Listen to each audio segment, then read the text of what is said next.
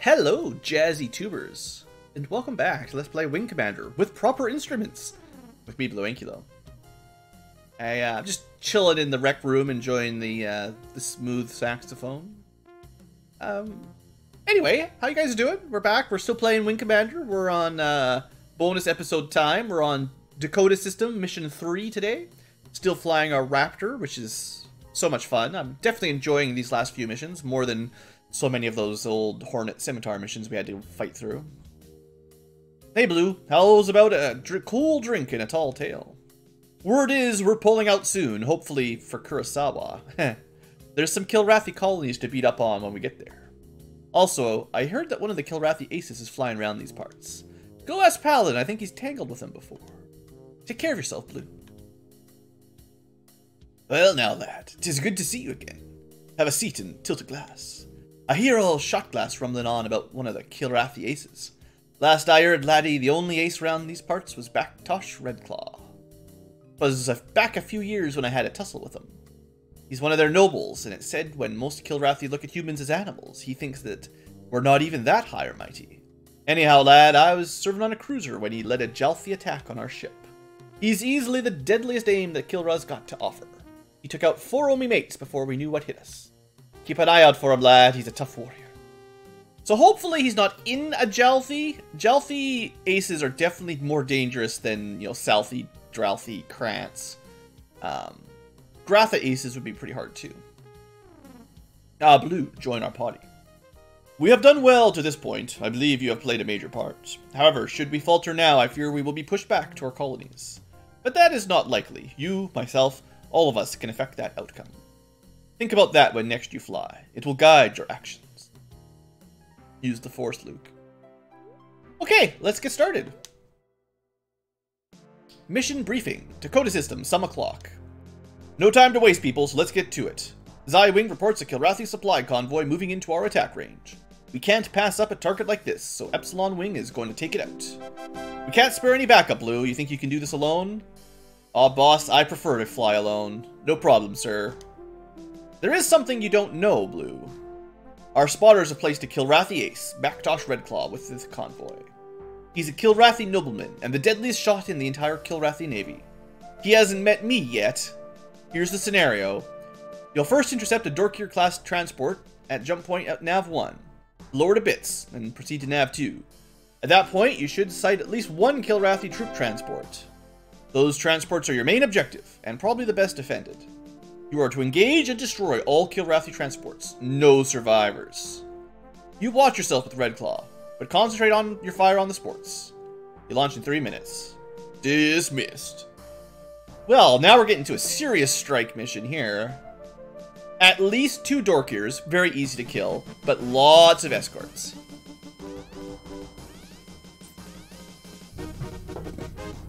And probably an enemy ace even. So this mission, this is this is where the difficulty starts ramping up on the good path, the winning path. All right, good thing we've got Raptor. Knight probably wouldn't have helped us anyway, so it doesn't really matter whether or not he's here. Just waste my time trying to follow the comms with him. So I see, I think five bogeys plus a Dorkier. Let's uh, not waste any afterburner fuel here. So there shouldn't be any Baktoshes on this group. But uh, there's going to be a lot of missiles. That one's not actually flying directly. Well, there we go. A little bit out of range. Should have waited a little bit longer. It's because they were in range with their lasers. Throws me off with their long-range weapons. Alright, see if I can sort of skim around the outside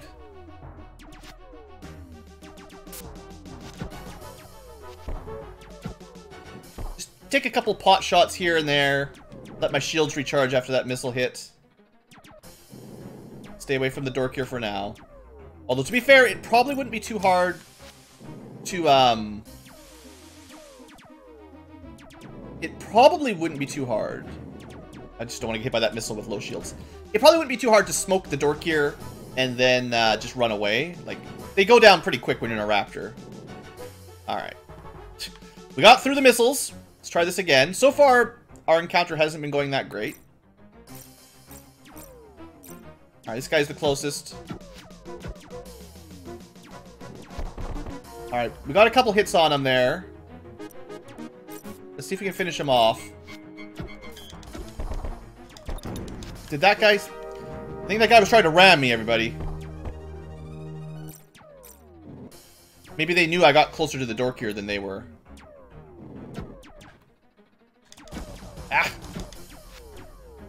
Okay, no missiles on me, shields recharging. Got a pretty good line on this guy.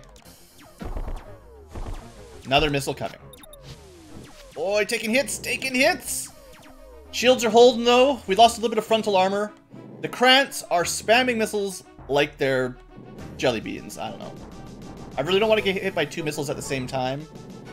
So I wanted to specifically burn some fuel there. Alright. Let's try this again. So three are heading back to the door here. This guy is not. So this should be a nice easy one to pick off easily.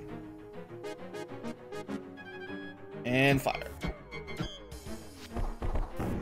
Yep. Alright. Well, two down. That makes the uh, overall matchup a lot more favorable. Plus, I'm sure they burned through most of their missiles. Okay, this guy's the one that's almost dead. And he's running away from us. Maybe I can just boost over. Pick him off before his friends notice. Well, not if I shoot like that.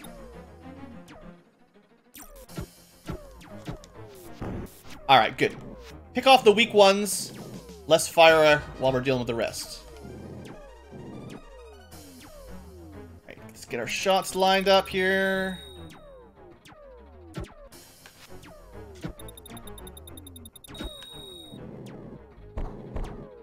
Good shot there. That was pretty long range. Alright, cool. Alright, I think we got this now.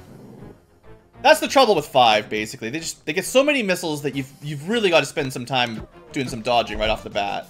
Unless you're, like, better than me and you can just joust right through the middle and kill half of them just with good targeting.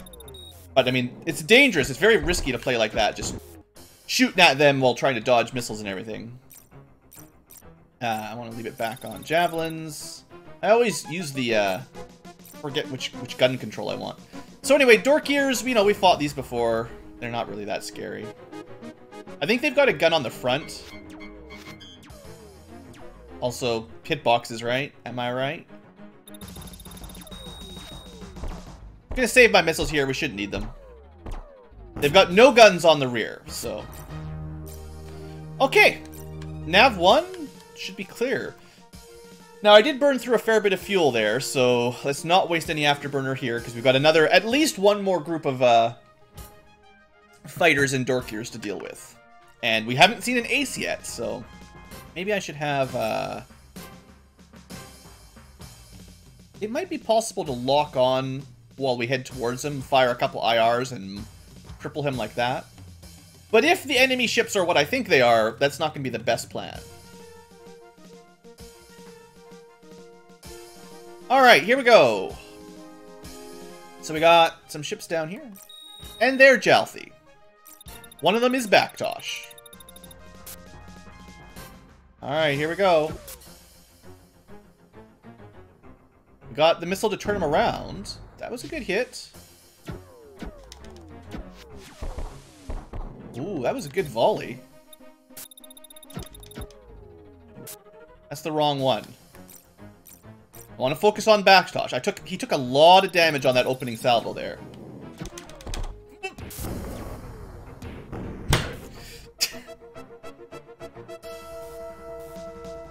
I got greedy. Man, I, I should have been at like full armor and health there. One bad afterburn tried to pull up, but he pulled up into me, basically. I don't know if it was... It probably wasn't intentional. Sometimes it feels like the, AI, the enemies do that, though. They're like, oh, I see you're flying nearby. Let's fly right into you, and then you'll be dead. But... Well, let's try this again. Shucks.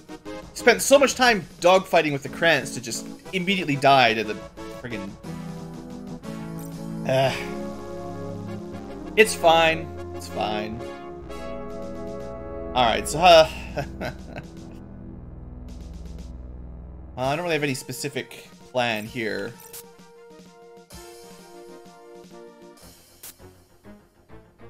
Be nice to take one of these out on the, uh, the, the flyby. Certainly did some damage. Well, I think we got this guy. He should be injured enough that he, he won't want to fight. Or is crippled. Alright, one down. That was much better start. Okay, next. if we could just do that five times, this would be easy.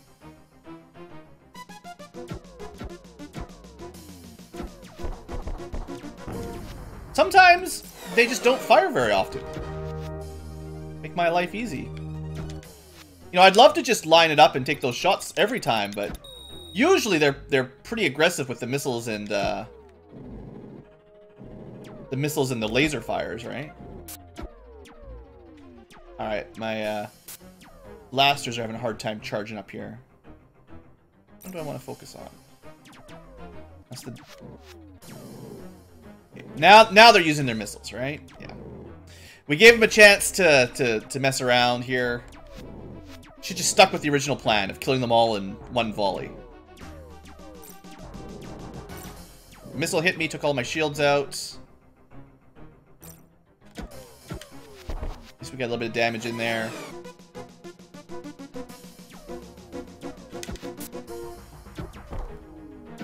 Is that the best the ape can offer? Look, we've already killed two of your friends.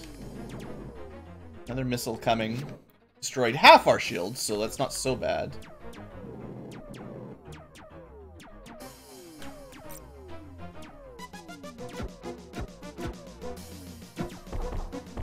Alright. Almost got that one. Maybe one or two more shots.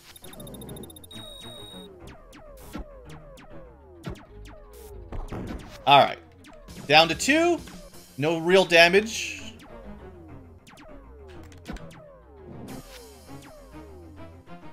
These last two are the real aggressive ones with all the fancy flying and missiles and stuff.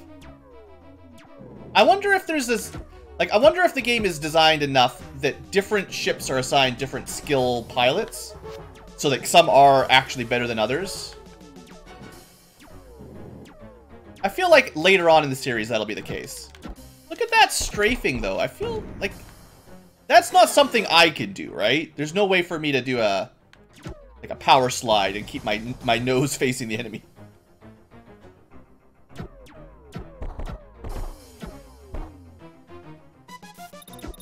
We are in space, you know. Shouldn't be any, uh... call it? Oh, we're, we're in front of it. Get around behind. Yeah, in space, there should be no uh, atmosphere to slow you down or, or do any kind of tricky maneuvers. It's all just based on your thrusters. All right.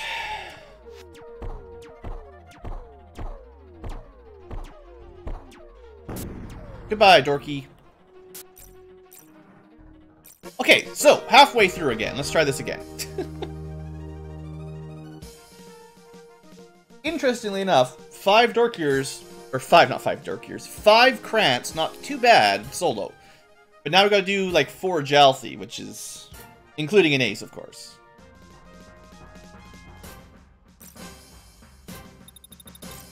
Alright, Baktosh. I see you, man. Last time, I almost had you. Use some cheating ramming speed techniques. Gonna joust if he's gonna start firing early. Terrible shot. I think I shot my missile again. Got missiles incoming, but my shields are full. We got Baktosh in our sights. We got him. Beautiful. What the heck hit me?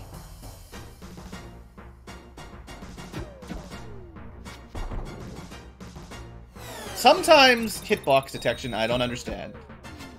I'm sure I had room to, to not crash into that Dorker. I wasn't even using afterburners. But I lost all my left armor. Did I take a hit from one of these? Maybe I just didn't register that I was actually getting shot. I don't know. It, it felt like a crash, but... Now, I know there's some more... Another wave reinforcement here, but I'm going to try to kill this guy quick.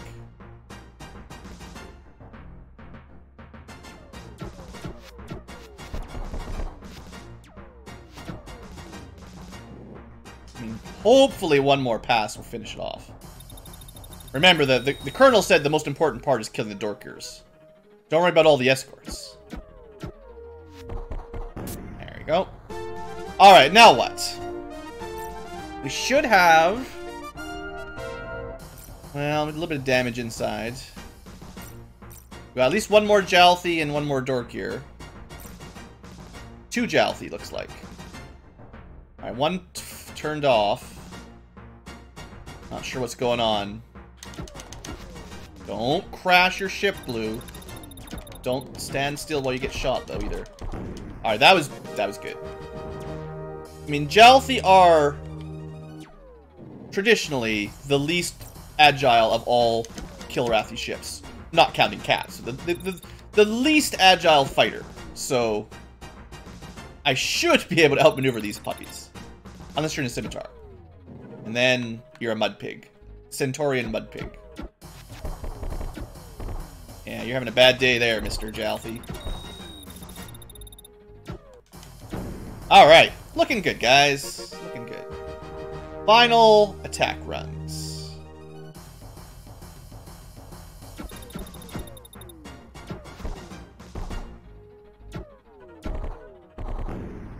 Honestly, that might kill him faster than just using the neutron guns. It's hard to say exactly. I know I know I, I classically like to go in just neutrons for max damage, but full guns might still be the more efficient route. Anyway, that went pretty well. I think we had one potential crash, but otherwise didn't really take much damage. Seems like my only problem in the last few episodes has been crashing into things. Got a couple guard scimitars here by the Tiger's Claw. It's nice to see when they've got escort fighters actually guarding the Claw, I know it's a drain on resources and slows things down and all that, but it actually makes it feel real. You know, a carrier that doesn't have great guns would actually almost always have a, a wing out defending it, I'm pretty sure. In enemy space, you know. Well, other than a little bit of crash, how do you think? Looks like you got a little hot out there, sir. Thanks, guys. Mission debriefing. Sometime. Good landing, Blue. Thanks. How did it go out there? Well, the tanker's been nailed, sir. She went up in a flash. Good job. How about those troop carriers? We took out... I took out the first transport without too much problem. The second one was actually weaker, to be honest. But we got her too. I knew you could do it, Blue. That's damn good work. According to the log, you shot down Baktosh as well. My congratulations. According to your flight recorder, you've wasted 12 of the fuzzballs, Blue. Major, stop by my office after your shift. Dismissed. Colonel Halcyon's office later in the evening. Ankylo, come in. I need to speak with you. Yes, sir? We'll be leaving Dakota soon, and I need to make some personnel changes. Effective immediately following the jump, you'll be reassigned. I want you one of the new Rapier class mediums, Black Lion. Yes, sir. You won't be sorry. Good, I'm glad to hear it. That's all then, Major. Dismissed. So the game definitely plays as though the Rapier is a better ship than the Raptor. It's meant to be like your fourth tier. I'm not sure I 100% agree with that, but it's still not bad, so I'm okay flying a Rapier. It's a lot of fun. Maybe not as useful as the Raptor, but it'll do. It'll do. Anyway, for meritorious conduct in confronting the Kilrathi enemy in the Dakota system, once again, the Terran Confederation is proud to present the Gold Star to Major Ankylo. You are getting all the awards. Congratulations, Ankylo. Have all the stars. Good job, Blue. Congratulations. Thank you, sir. Filled with pride, you meet the applause of your fellows. And meanwhile, human colony on the water planet Hurricane Port Hedland system. Hurricane's planetary defenses head off a last-ditch Kilrathi assault. And they win. Didn't really talk about it much. Alright, well with that, we're still not in the lead because Casey is killing it. But uh, with that, we have now traveled to Kurosawa, the furthest win left side winning system. On this one, if we win, we go straight to Venice, which is the final system. Unfortunately, winning the Kurosawa missions is not an easy task. This is probably...